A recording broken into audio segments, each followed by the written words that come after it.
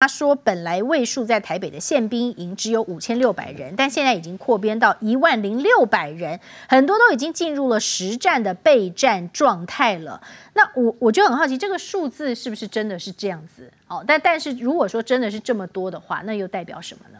有，它的确是宪兵有扩大编制。你说光是台北是，就因为这么多宪兵，主要是集中在台北，那全台湾因为其他地方没有什么需要宪兵的地方，因为那边重要人物比较少，嗯啊，顶多大概只有陈其迈啊、黄伟哲啊，啊这些可歌可泣啊，哦，其他的民进党重要人士全部在台北市嘛，哦，面对这个局面，就表示说，民进党政府有感受到了斩首行动的压力。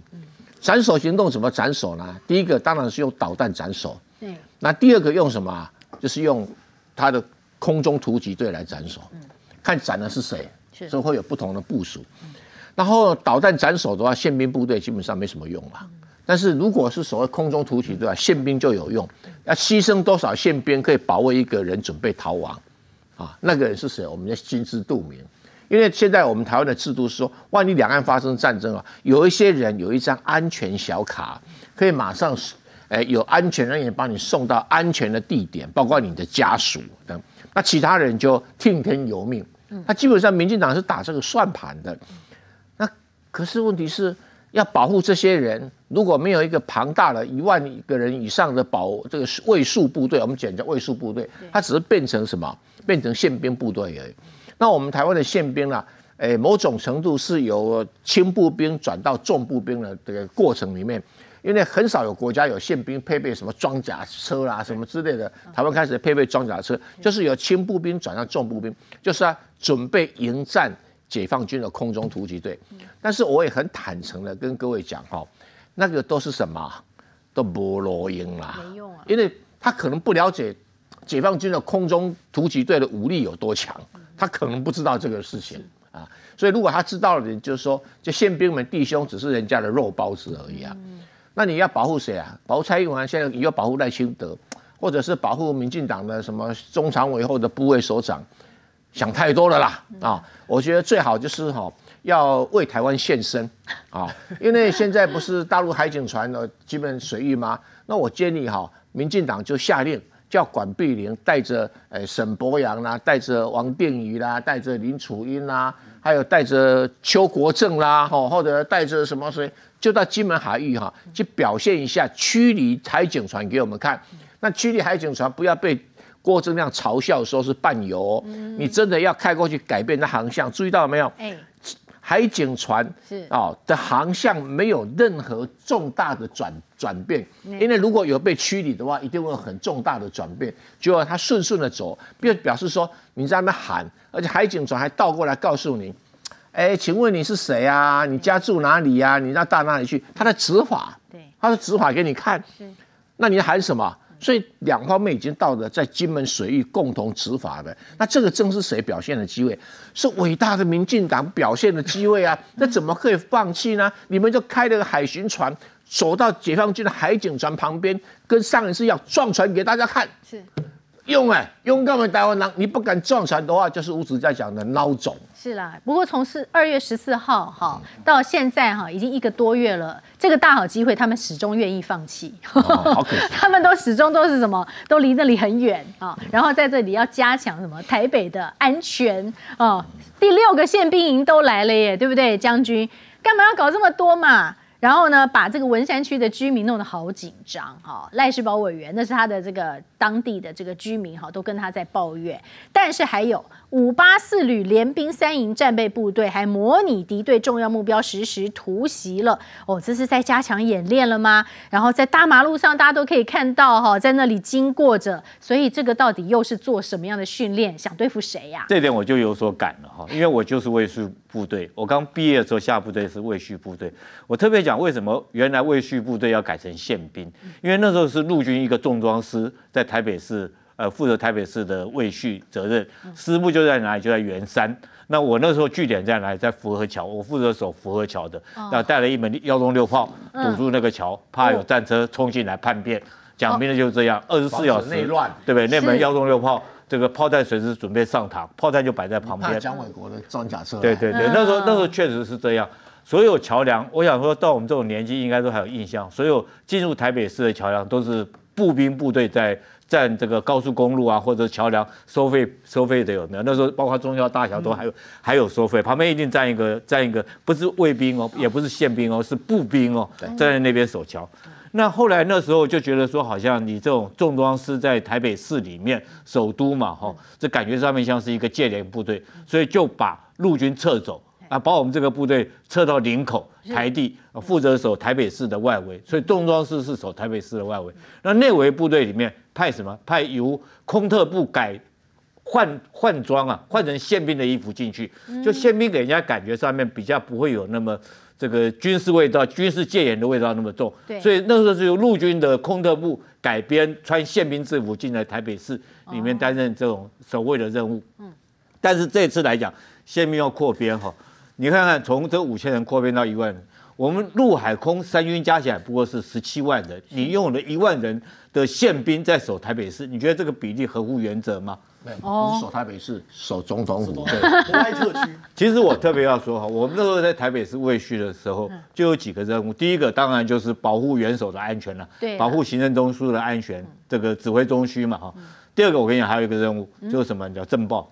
哦，政报。所以这次这一万一万一千人，你你我上次有讲说，这扩编的一个一个。背后一个比较更深一层的目的，就是为了震爆。但是很多的国防部里面很多人跳出来马上反驳我。但是我今天还要再讲一遍，就是震爆。为什么？我们今天看全世界任何一个国家，包括现在以色列在内，有没有有没有在里面抗议的分子？有，就抗议纳坦雅胡的这种以色列人民，这两天还闹得更凶。对，不管是俄罗斯或乌克兰境内任何一个国家，如果发生作战或战乱这种状况之下，一定会有民众反战的人员出来抗议啊！反正我不要打。打仗，我希望和平，我干嘛？一定会有这种人员这个出来。那到时候就是宪兵出来压制。这时候出来的话，我们的警察有没有能力去制压这些人？应该是没有能力。那由军队出来的话，又感觉上面好像去镇压老百姓，所以最好是用穿着宪兵制服的这种这呃这种军人来出来。所以说我我再一次强调，除了说这个宪兵扩编，除了说蔡委员嗯。的讲的这提供这些人员这个保护之外，这个政政党政军的高层保护之外，我觉得还有另外一个深层的目的，他是不是也赋予说这些宪兵到时候如果台北市里面。呃，万一一旦作战发生暴乱了、暴乱的话，发生抗议事件的话，就由宪兵，因为警察可能那时候已经没有能力执行这个镇压的任务，可能要交由宪兵来执行，所以宪兵才会扩充。你看这合不合比例嘛？对不对？十七万，总共陆海空陆战队加起来才十七万，你用了一万多个宪兵在台北市里面，是你觉得对不对？我觉得不太合乎了。一万多人可以编成两个两个十兵旅啊，那你这两个十兵旅，你用来守台北市的外围？在我们现在兵源不足的状况之下，不是很珍贵这些兵员，你用来不管是守第一线或者守台北市的外围来讲，我觉得更重要。那包括这次来讲的话。这五八四旅是虎口的装甲旅了哈，我觉得他这个演习演练是对的，因为在战车或者是这个装甲车开出来，在路上让官兵实际上面在马路上面跑一遍，不然那毕竟是开跟开汽车是完全不一样的，不管视线死角或者怎么样是完全不一样，让他熟悉我坐在的时候必须呃要经过路线死角在什么地方，让他熟悉这路线。我觉得是一种正确的。如果说就战备角度的立场来看的话，我个人来讲是支持啊。当然会制造一些噪音啊或交通不便，也希望我们民众多支持国军，多支持国防部，在这个方面来讲多多包涵啊，忍耐一下，让国军能够实实地的呃实战的地方呃在这个地方做一次实际的演练，让官兵熟悉作战地区的地形、道路等等各项的作战条件。我想补充一下，厉将军那个的这个就讲到这个扩编的部分，因为最近呢，我们第一梯的这个一年兵回训的那个新兵的训练哦，回去哦，他们加一个东西啊，以前我们是没有的。我是一五年入伍的，我们当时的训练连单战实战几乎都没有办法恢复。对，那还是因为我们那个旅长是从高师单位调下来，他还动员了，因为你知道那个在新训的时候是自愿意的当这个教练。哦，等于就当这些四军官，他们还每天值班，然后呢加班去把那个训练场恢复，我们才有那个实战。可是到现在最新的实战，它是要加加加一个打一个枪声，嗯，就是机枪我空弹哒哒哒哒，也就是现在其实压力是很大的。也就是说，第一线部队他现在要让他有个实战感。还有最近冒出几个很诡异的新闻，一个是金门有美国的部队，然后最扯是澎湖上次不是有几个美国的不就绿扁帽吗？对，然后美国的军官跟在澎湖跟他吃饭被台湾人打嘛，对啊就是最后不不敢报警，不是说是在声色场所吗？对啊，啊，那为什么不敢报警？我认为有两个原因，一个是这些可能都是怎样外包，他是受 AIT 管辖，我们没有执法权，他们没有执法权啊，他是被我们打，他如果告我们的话，那难道把我们的人，把我们台湾老百姓送去给美国审判吗？不行嘛，因为 AIT 它是有享有这种领事这个领事裁判权，所以这个其实现在的状况真的是非常非常严谨啊，就不是说像这个，我觉得民进党它是感受到明显的压力，而这背后事实上是因为。中俄背靠背的机会，再加上一个这个伊朗加进来之后，整个国际的大局势很明显，现在美国很难轻易的削弱中国嘛，所以就只好这个给予这个很多给加强武装民进党。可是问题是你加强真的能够得到好的结果吗？这是个大问题。不过说真的，大家不想开战啊、现在那个年轻人都只想说，我希望能够安居乐业，多赚一点钱就开心了哈。那不要说是台湾哈，大陆的朋友是不是也是如此呢？可是你说现在到底是不是越来越难赚，还是说现在比较一下两岸的年轻人的感受哈？我们看到其实有不同的报道，都有凸显出不同的一些这个看事情的角度。你看。PTT 上面就有人 Po 文说，最近很多零零年后的年轻朋友去过大陆后改观了。以前一直觉得大陆人很穷，现在发现真正穷的是台湾人。大陆城市建设随便都能赢过首都台北，而连三线的贵州城市呢都赢台北，哎，是不是真的是这样？蔡委员，你先说哈。那我也想问一下我们线上的网友，他说的是真的吗？真的，请加一。你的感受，你看到的真的是如此吗？那蔡委员。贵州城市有没有赢台北，我不知道，但真的有很多的三线的城市赢台北。嗯，我们必须承认这个。那因为台北卡在一个都市更新根本动不了的处境，嗯，所以可能未来三五年甚至十年，你看到结果还是不如大陆很多能够全面做都市更新的三线城市。我们必须要承认我们这个缺点。那只有台北市吗？不是，整个台湾都是如此。好，那都市进步是另外一回事情哈。大陆现在的经济成长率已经很几乎每一年都赢过台湾，像我们去年多少，才才一点多的经济成长率啊，大陆就是五帕啊，啊，所以这个差距会越拉越大，越拉越大。那拉大的结果呢？最后你说，哎呀，我们台湾有台积电的半导体，那大陆也会有很多的台台积电出现啊，这个就是台湾很大的考验。那台湾有一个很重的心结哈。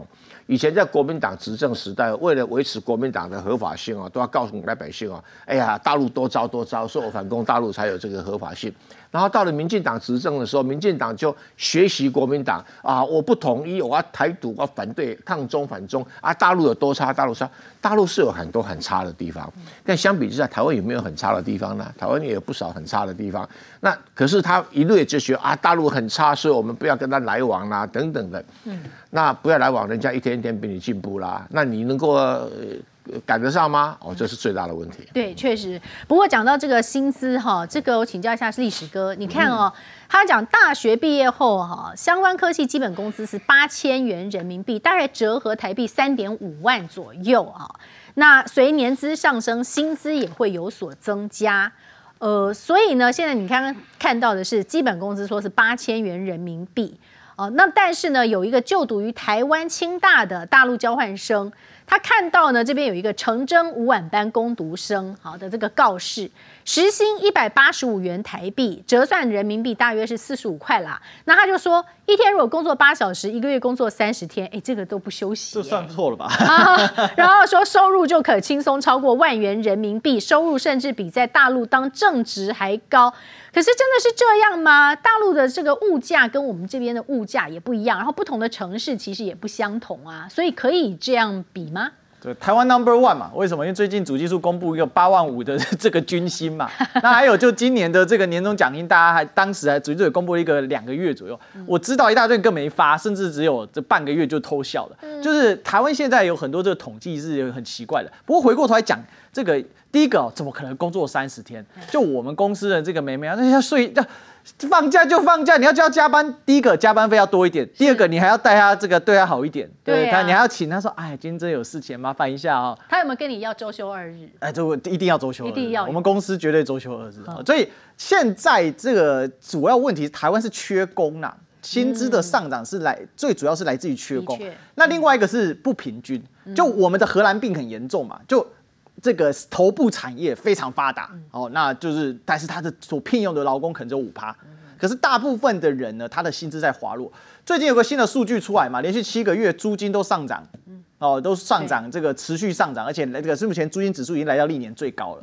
这为什么呢？因为就代表说整个生活成本大幅上升，所以每一年政府都在调基本薪资，所以让大陆的朋友看到一个假象是，哦，我们时薪一百八十五块很高。我跟大家讲，一百八十五块你在台北，如果你真的要请，搞不好还请不到人。哦你搞不好还再拉高一点，你可能要拉到一百九十块对，一百九十五块你。知道原因是什么？因为就就缺工少子化非常严重啊。那现在大家去看餐饮业，大多很多都变什么，都是越南的朋友在经营的。哎，像我昨天去吃一个锅烧意面哦，那那个老板就架杠台湾郎，他太太是越南的越南的，整间店员工除了老板之外都是越南的朋友。哦我猜就是他太太的亲戚好友或者是同乡带带过来做生意对，所以他才可以控制在他的他的生意非常好。那成本才能够控制。对，所以他卖的没那么贵，以台北来说，但也不便宜啊，一碗锅烧意面卖到一百二、一百五，那也不是随便。以前我们锅烧意面五十块，四十五块，是现在这个落差很大哦。那所以这个是整个的现况，所以回回过头来看说。这个他讲的这个，我觉得他这个计算是有问题。他其实只是想要去说，哎呀，你看大陆现在经济不好，大陆经济好不好？确实没有之前好。可是有一件事情一定要了解到，大陆的物价相对于它的发展程度是非常价廉的，甚至廉价到有现在这个问题是通缩啊，反而是物价升不上去，大家开始在担心了、因为物价太低升不上去的时候，这个通缩如果下去的话，很有可能导致反而变成消费也不正，因为你整个经济就停滞下来，这个最后可能会变成滞涨嘛，哦，就是你整个这个这个消消费性会整个萎缩嘛，确实。那大陆的 PPP 早就已经是世界第一了。我记得二零二三年的时候，我还刚才特别回去查，纽时还出了一篇文章来洗地，因为当年度呢用 PPP 算的话，最现在目前中国大陆的 GDP 啊已经是最高了嘛。是。那其实这就反映一个现实，就是中国这几年的经济成长很快速，但是因为它的独特的这种社会主义的这种体制哈、它把它的物价在控制在一定范围内。还有另外就是中国大嘛。所以中国大很多东西可以自己生产，它本身的这物价相对低廉，所以要比的话，不能只是这样子齐头式的比。对台湾的就是表面上的收入，当然是一定会比大陆还要高，可是实质上对岸不管他拿八千人民币，或者拿六千人民币，是拿四千人民币，实际上他可以所享受到的生活还有基建，他的状况会比较好一点。李将军，我们刚刚在比较了两岸的人民哈，年轻人他们现在目前哈这个收入啊、生活的水准哈，可是说实在，你看看在台湾，你还记得那太阳花吗？当时有多少太阳花的要角们？结果现在很多人说，哎，不错哎，日子过得都挺好的啊，有太阳花哈，他们你看，来来来，我们要一个一个盘点。其实，在这个里面哈，不用我多说了，光是在讲林非凡，大家都知道他零九万嘛，黄国昌现在是当立委啊，苗博雅、吴征、赖品妤等，不是都后来顺利的踏入政坛了吗？那么呢，都成为政坛的明星啊。结果呢，当初在那里怎么样反服贸啊，反对 a c f a 呀，反对这个反对那个的，结果后来他们在踏入政坛了之后，还是一样啊，有在那里反对，可是很很很现实的问题是，照样在那里享受着这个 a c f a 带来的红利啊，不是吗？哎，其实太阳花哈、真的是讲起来很感慨了，确实是台湾的政政治，呃，从太阳花之后，确实是有一个很大一个转折跟改变，于是两岸的关系也因为太阳花这个反服贸的关系，然后让两岸走上了一个分分裂的一个很明显的一个没办法没办法融合的一个经一个政治的一个形式。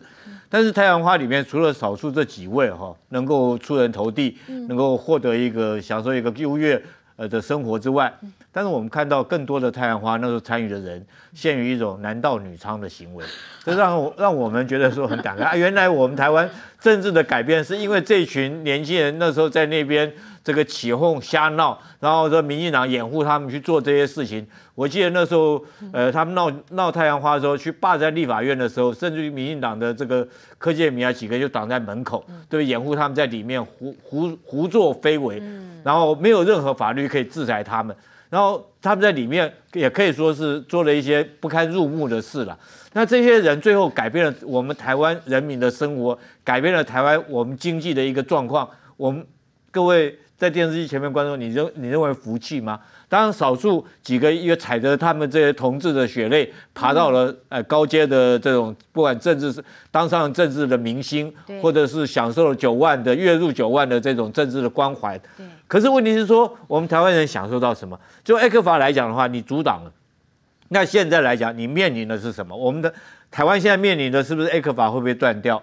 对不对？哈，这个所有优惠设施，老共他们会台措施会不会因此在五二零之后就被停掉？这是我们台湾人自己选择，我们自己就要去面对。然后你纵容当初这些人去做这些事情，民进党纵容这为了夺权、为了斗争马英九，纵容这些年轻人，等于我觉得说马太阳花学运哦，如果说用大陆来比照的话。可能大家不晓得，我觉得有点像共产党那时候闹红卫兵一样，就是纵容一批红卫红卫兵去闹事，然后为了斗争某某人，毛泽东为了斗争某一个这个林彪啊，或者斗争周恩来啊，斗争这些人，然后纵容这些年轻人，利用年轻人的热情去斗争这些这些他的政敌。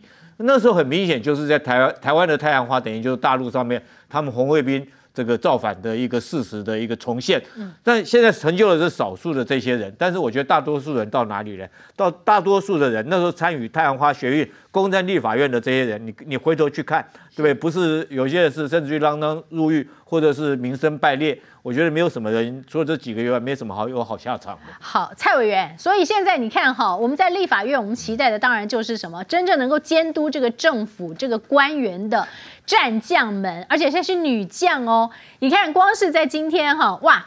这个陈玉珍哈来个大环抱轮墙伺候谁呢？伺候民进党的吴思瑶哈。然后另外呢，你看陈廷飞还在那里什么，在那里，因为他就是 那天他改书面质询嘛哈，就跳过了他。陈廷飞还没说你好大我好怕，王宏威就出来了。王宏威说你是妈祖，你最大，暗讽这个陈廷飞以前去演妈祖客串演出。委员在立法院的公房啊，就是每天都会上演嘛啊。有开会，有冲突，有议题，大家都要去争取这个制高点。对，吴思瑶这一次是呃算错算盘了。哎，第一个，你说要王玉明不能够当主席，那你找立民进党立委来提案啊，他来表决啊，他不走这个程序，他用闹的。好啊，你用闹的，结果没想到闹一闹哈，哎。被这个陈玉珍哦环抱就抱出去了。对，照道理，如果真的有那么伟大，要把这个主席的王玉明给弄下来，你被抱出去，你就要再爬进来，表示你的勇敢呢？没有啊，对不对？我最近试了一个东西，真的很有用啊，所以要分享给大家，那就是太阳星全效克菲尔益生菌。哦，吃了两三天，真的有明显的感觉。最主要就是睡眠的品质变好喽。那你知道这个睡得好呢，整个人工作就可以更加的专注，当然情绪也就变得更好了。因为太阳星全效克菲尔益生菌，我才认识了这个克菲尔益生菌。它是由多支菌种益生菌所组合而成的，不但是能够维护消化道机能的正常运作，而且呢还有多种有益健康的保健功能，非常的强大。有台大教授专门研究它，把它叫做神仙的礼物。而您知道吗？有上千篇国际研究证实，克菲尔益生菌不仅是帮助肠道健康，肠道菌透过肠脑轴影响全身的器官，所以维持肠道菌种的平衡，这是解锁身体健康、精神健康的钥匙。对于帮助睡眠、维持好情绪，真的是很有感。也因为这不是药。有季节敏感、代谢困扰、关心恶性细胞风险的好朋友们，选择太阳星全效克菲尔益生菌，做好日常的保养，身体轻轻松松，没有负担。每日克菲尔，时刻美好，Good feel feel good，请上快点购为健康下单，也记得输入推荐码，有额外的折扣哦。